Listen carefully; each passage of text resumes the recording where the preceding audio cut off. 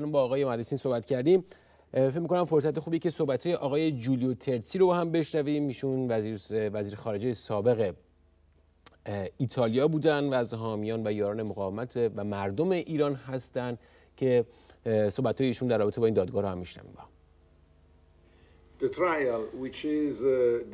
دادگاهی که محاکمه ای که در این روزها برگزار میشه در آنتورپ بلژیک علیه دیپلمات رژیم ایران یک تروریست یک دیپلمات تروریست که متهم شده مجرم هست به خاطر تلاش برای سوء قصد برای انجام یک حمله وحشتناک در ویلپند دو سال پیش دو سال و نیم پیش. یعنی اسدالله اسدی. این اولین بار هست در چهل سال حکومت جمهوری اسلامی که یک دیپلمات سرکار اطلاعات مشخصی علیهش در دسترس هست که بره به دادگاه محاکمه بشه و در برابر عدالت قرار بگیره. در قضاییه بلژیک اون هم در آنفر یک اتفاق خیلی نگران کننده هست این. چون اول به این معنی است که تصمیم های سیاسی مقام های اروپایی و قضاییه اروپا باید جدیت این جن... جنایت تروریستی رو در نظر بگیره. این یک سرفصل هست. باید یک سرفصل باشه در روابط بین همه کشورهای اتحادیه اروپا و جمهوری اسلامی ایران. چون که این جنایت این سوء قصد تلاش برای یک حمام خون بزرگ انجام یک حمام خون بزرگ و اون هم تحت پوش دیپلماتیک و مسئولیت دیپلماتیک. با به خاطر یک بیعملی بی سابقه صورت گرفته. برای همین یک سرفصل به شمال میره چون ما اروپایی ها و دولت های اروپایی باید دست به اقدام بزنیم با اراده ای برای اینکه بتونیم جلوگیری کنیم از اقدامات مشابه در آینده توسط رژیم ایران. همونطور که به درستی تاکید شد. توسط وکیل ویلیام بوردون یکی از وکلای شاکیان خصوصی که خود من هم در میان اونها هستم. چون من در ویلپند بودم در اون سال در جوان 2018 و همراه با هزاران و هزاران نفر به اونجا آمده بودیم. روی سن رفتیم و سخنرانی کردیم برای پناهندگان سیاسی ایرانی. به گفته وکیل ویلیام بوردون در این محاکمه تاریخی برای نخستین بار رژیم آخوندها به طور نمادین در جایگاه متهم نشسته. و داره خودش محاکمه میشه. به اسم این به اصطلاح دیپلمات. اسدی مدعی مسئولیت دیپلماتیک خودش شده. ولی در واقع هیچ مسئولیتی برای این اقدامات تروریستی وجود نداره. مسئولیت نمی‌تونه مسئولیت باقی بمونه. و دیکتاتوری حاکم بر ایران امیدواره که بتونه چنین مانورهایی بکنه توی محاکمه با گروگانگیری و از این جور کارها و به همچین کارهایی ادامه خواهد داد در آینده. و در زمانی که ما در مقابل خودمون داریم اگر اقدامات پیشگیرانه توسط همه کشور اروپایی اتخاذ نشه اون ادامه خواهد داد. ما یک باید اتخاذ سیاست قاطعی رو داشته باشیم.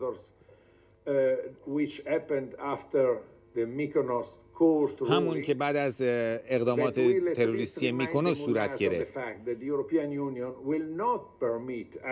و نشون بدیم که اتحادیه اروپا نشون نخواهد داد قوانینش نقض بشه. ما به درستی و به خوبی می‌دونیم که این توطعه وحشتناک در ویلپند مسئولیتش با وزارت اطلاعات رژیم ایران و سپاه پاسداران و به طور خاص نیروی تروریستی قدس بوده به خاطر همین باید همه اینها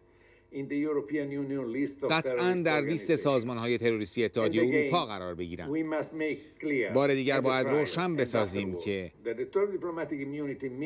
مسئولیت دیپلماتیک یعنی یک دیپلمات مسئول هست از محاکمه های معمول. وقتی که کار معمول خودش رو به عنوان دیپلمات انجام میده. اما نه به خاطر جنایات تروریستی. در برابر جنایات تروریستی مسئولیت نداره. بنابراین بسیار مهمه که این محاکمه رو دنبال کنیم. ما اطمینان خاطر داریم که همراه با همه افرادی که اعتقاد دارند به این ارزش ها که باید روابط اتحادیه اروپا و رژیم ایران تغییر کنه به سرعت. و من مطمئنم که این دادگاه با یک حکم شاخص و الگو به پایان خواهد رسید. نه فقط برای اونهایی که تحت محاکمه هستند سه نفری که همراه با اسدی محاکمه میشن بلکه با محرومیت تمامیت رژیم آخوندی که و اون سازمان هایی از رژیم قسمت های از رژیم که دست داشتن در این توته بینندگان عزیز صحبت های آقای جولیو ترسی رو شنیدیم. وزیر خارجه پیشین ایتالیا در رابطه با حکم این دادگاه حکمی که این دادگاه می‌تونه داشته باشه و روند دادگاه آنتورپ بلژیک. همونطوری گفتم امروز مهمانان و متخصصین و سیاستمدارانی داریم که نظرات خودشون رو در برنامه امروز خواهند داد. فقط قبل از اینکه بپردازیم به یک در واقع صحبت دیگه من خدمتتون عرض بکنم که دادگاه از امروز ساعت ده و سی به وقت اروپا شروع شد و الان شروع به کار کرده و ادامه پیدا می‌کنه. ما تلاش می‌کنیم که با گزارشگرمون در حین این برنامه با شما اخباری که اونجا اتفاق میفته و وقایع اونجا رو در میون بذاریم و خبر رسانی بکنیم. اما در این بخش پردازیم به یک صحبت دیگه از یکی دیگه از سیاستمداران اروپایی آقای دیوید جونز. نماینده مجلس عوام از ولز وزیر سابق ولز و همچنین وزیر سابق برکزیت که نظرات خودشون رو در رابطه با همین دادگاه برای ما مطرح می‌کنن.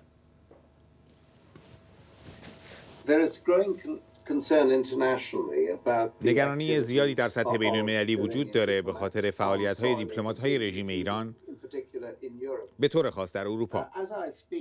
در حالی که من صحبت می کنم دیپلمات رژیم ایران اسدالله اسدی در حال محاکمه در آنتورپ است به خاطر تلاش برای کشتار خانم مریم رجوی و چندین تن از شخصیت هایی که در گرد همایی اپوزیسیون ایران شرکت داشتند. جالب اینجاست که اسدی اتهامات علیه خودش رو رد می‌کنه. اینکه یک مواد منفجره رو خودش از تهران منتقل کرده با یک هواپیمای معمولی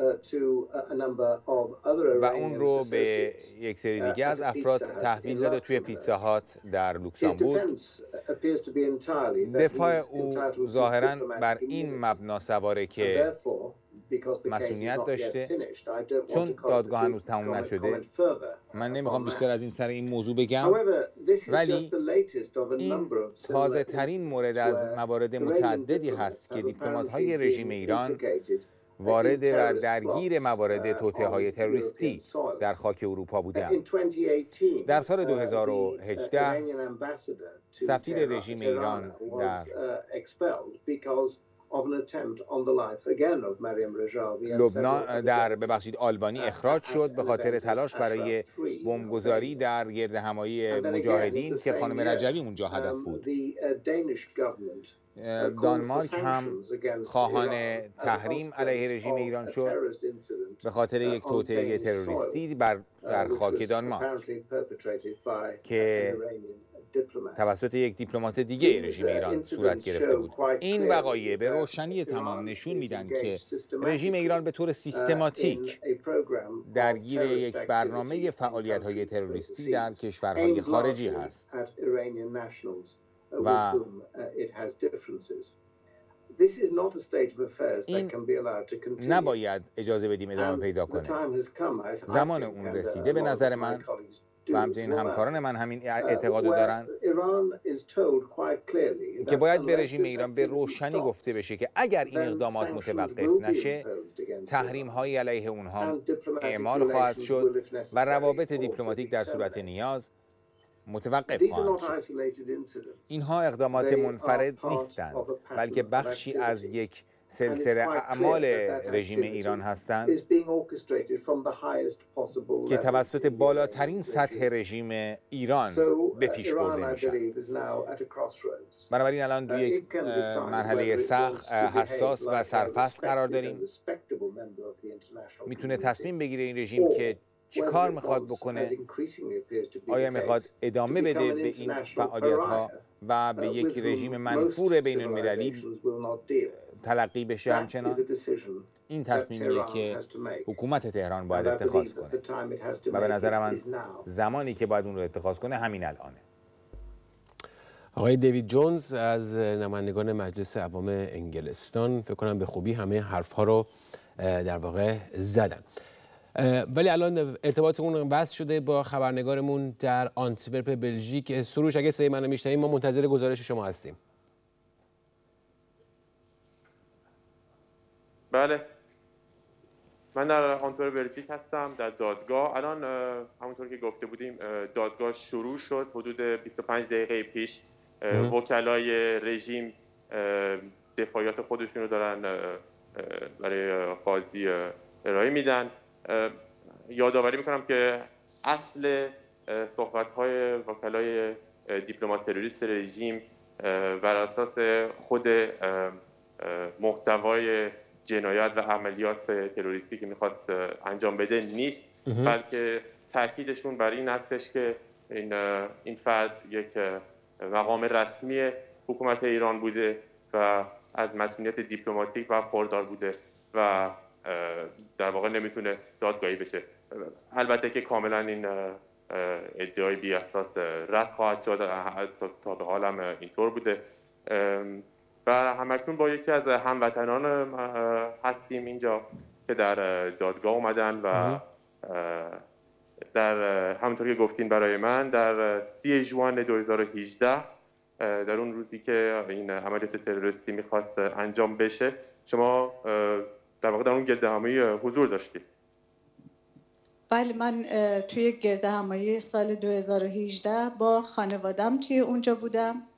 که در واقع خوشبختانه چنین اتفاقی نیفتاد و الانم که اینجا هستم به عنوان یک شاهد به عنوان یک شاکی از این جنایت جنایتکاران در واقع اینجا هستم. من مت... هدا امرانی از شهروندان کل هستم که با خانوادم متعهل هستم که همسر من در کل شیمی اشتودیرن کرده. دو تا بچه دارم که یکیش مهندس ماشین با و دیگری داروساز هستن. خود من مایسترین هستم. و از زمانی که سال 1984 در کل هستم و از اون موقع به بعد اکتیویست هستم برای حقوق بشر به خصوص حقوق زنان. به دلیل اینکه من در زمانی که در ایران بودم خیلی از دوستای من اونجا اعدام شدن خیلی در زندان ها شکنجه شدن و به همین دلیل خواهان این آزادی برای ایرانیان بودم و سعی کردم صدای شهیدانمون زنده باشه صدای شهیدانمون زنده باشه و صدای مادران اعدام شده ها خواهرها برادرها خانواده های کسانی که بدون نام و نشان اعدام شدن. به همین دلیل الانم اینجا هستم که خواهان این هستم که مسئولین این دادگاه این جنایتکاران را به اون حکم بالای بالاترین درجه برسونن و حتی مسئولین رژیم ایران را به اینجا بکشونن. و توی دادگاه بیان. الان شما اینجا می‌بینین که توی این دادگاه ما ایرانیانی که شاکی هستیم شاهد هزاران هزار جنایت رژیم هستیم هممون اینجا حضور داریم. ولی یکی از کسانی که از طرف رژیم باشه حتی خود اون محکوم در اینجا حضور پیدا نکرده. پس اگر که معتقدین که شما یک حق و حقوق واقعی رو دارین ازش صحبت می‌کنین پس کجا هستین؟ چرا پنهان شدین؟